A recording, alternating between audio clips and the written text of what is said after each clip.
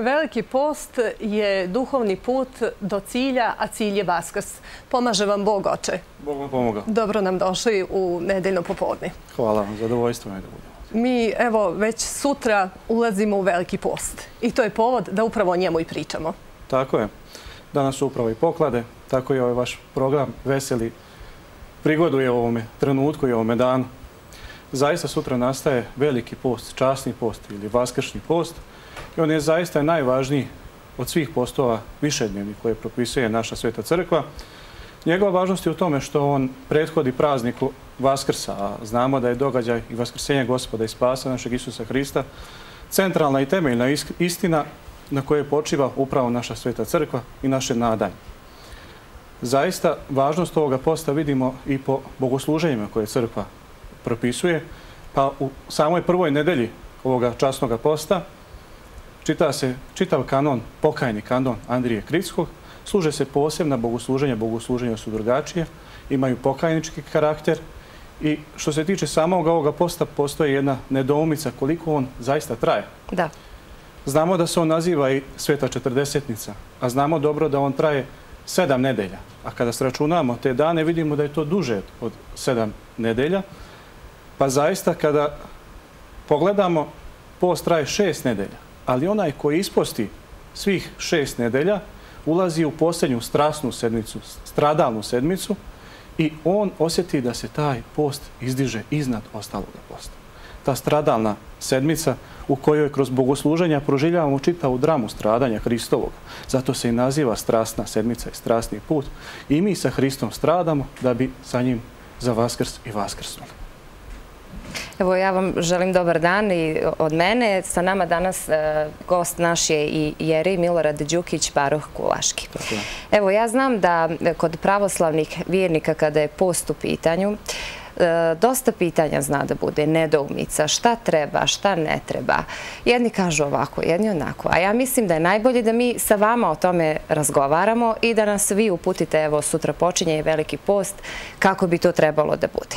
Evo, rekli ste koliko traje veliki post i zanima me da li su evo savremeni pravoslavni hrišćani spremni na iskrenu ispovijest, jer je to dio posta. Tako je, pitanje kompleksno pitanje ispovesti je nešto što potresa današnje hrišćanstvo. Da. Čovjek treba da se ispovida tokom čitave godine, ne samo u toku posta. Treba da spozna grijehe. Pa sama suština posta jeste da čovjek spozna samoga sebe. Prepodobni Isak Sirin kaže, onaj ko se udostojio da vidi samoga sebe, ta je viši od onih kojima je Bog dao da vidi anđele. A šta znači spoznati samoga sebe? Spoznati svoje grijehe, spoznati suštinu, šta je grijeh nego promašaj, suštinu svojih grijeha. I onda, kada spoznamo svoje grijehe i vidimo koliko smo grešni, onda treba da dođemo da se ispovidimo. Ne ispovidimo se mi svešteniku, mi se ispovjedamo gospodu Bogu. Sveštenik je taj koji svjedoči, on je osvećen čovjek, zato se i kaže sveštenik. I često puta možemo da vidimo da se ljudi iz nekoga stida, ne žele da se ispovede ili se boje ili se stide svojih grijehova. Sve je to zamka demonska. Treba da priznamo svoje grijehe, jer onda kada priznamo grijehe Bogu, priznali smo ih sebi i onda tako priznavši možemo početi put pokajanja, koji je posebno naglašen u postu. Oče, ima li smisla postiti, a ne pričestiti se? Sama riječ liturgija, to jeste liturgijsko sabranje, jeste, naziva se riječu evharistija, to jeste sveto pričešće. Post bez pričešća je samo jedna obična dijeta, mučenje tijela. Moramo razložiti da postoje dva vida posta, tjelesni, duhovni i duševni. Tjelesni post je samo post hrana. Duševni post je kada se posebno molimo i očistimo našu dušu. A onaj duhovni post jeste da se oslobodimo svih briga. Te kada objedinimo ta tri posta, onda zadobijemo krunu, a to je sveto pričešće. Znači, možemo mi držati neke dijete koje nam nutricionisti propisuju i bez posta. Naravno.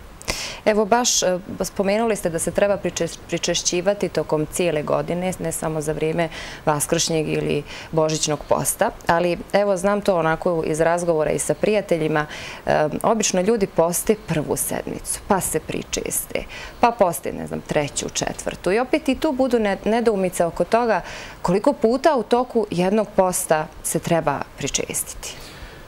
Pa najprije da za odgovor na ovo pitanje napravimo jedan kratki uvod stvorila se jedna uvriježena da kažemo, grupa ljudi, gdje pojedini koji postaje strogo, nije svakom Bog dao isto.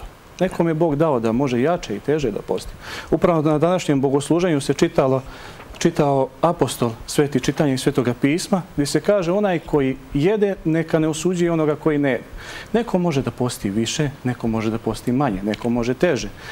U suštini, svi bi trebali da postimo čitav post. Kada bi nako zamislili post kao jedne merdavine, stepenice koje vode ka Bogu. Pa ako postimo prvu nedelju, onda smo se popeli samo na prvu stepenicu. Pa ne možemo onda sa prve skočiti na zadnju stepenicu da priđemo Bogu. Potrebno da ispostimo čitav post. Međutim, u, u duhovnom životu sve je u napredovanju. Pa neka počnemo sa prve nedelje, pa onda počnemo, nastavimo drugu, treću i poslije par godina mi ćemo vidjeti da mi u suštini ne možemo bez toga posta, bez toga vremena. Oče Milorade, vi ste i vjeroučitelj, pa me interesuje kakav je vaš utisak eh, mladi djeca? Koliko su oni spremni na post i koliko su svjesni značaja posta? Pa, naša djeca, to jeste naša omladina, imam utisak da su mnogo više spremni od odraslih ljudi, da kažem, svojih roditelja. Desio se jedan jaz između generacija, generacija mojih roditelja i njihovih roditelja koji nisu imali iskustvo pravoslavne vjeronauke u školi. Pa se vjeronauka prenosila u domaćoj crkvi, u porodici. A sada naša djeca imaju vjeronauku koja je prate od najranijih osnovnih dana, a ja predajem u vjeronauku u osnovnoj školi u Kulašima.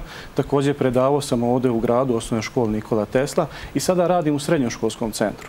I zaista su jedna divna iskustva sa djecom. Najprije to su djeca puna razumijevanja, spremna na trud, spremna na rad i kada ih kroz razgovor pitam ko želi da posti i ko će postiti u nekih narednih postova, to je zaista velika većina. I zaista sam ponosan sa našom omladinom, a to potvrđuje i uopšte ne samo na vjerskom planu, nego i na nekom sportskom i rekreativnom planu, pa gdje oni na raznim takmičenjama, ne samo sportskim, nego i nastavnim takmičenjima, predmetima ostvaruju veoma velike rezultate. Evo, mi se naravno zahvaljujemo na ovom gostovanju, a za sam kraj e, htjeli bi vas pitati koji to čovjek, šta on treba da uradi da bi za sebe mogao da kaže ja sam vjerujući? Nema čovjeka koji može to reći. To čovjek koji bi rekao znači da je gord. Kaže Seren Kierkegaard, jedan danski filozof, kaže samo jedan hrišćanin postoje, a to je gospod Isus Hristos. Ako zamislimo naš život kao neku rijeku, I sada čovjek koji stoji koji u čamcu vesla uz tu rijeku vesla ka izvoru. A izvor je Hristos. Znači mi se borimo, padamo, u iskušenjima smo i često puta padnemo, ali se opet podignemo. Ali nemamo to pravo da kažemo ja sam vjerujući. Možda smo mi pobožni i stremimo ka tome da budemo vjerujući. Ali iskreno vjerujući ćemo tek biti u Hristu kada se predstavimo carstvo nebesko.